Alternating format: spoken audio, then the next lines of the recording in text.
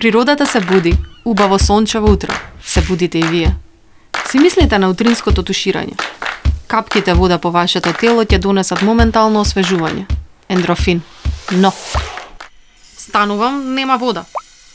Станувам, нема вода во сред пандемија сум. Два дена без вода во сред пандемија.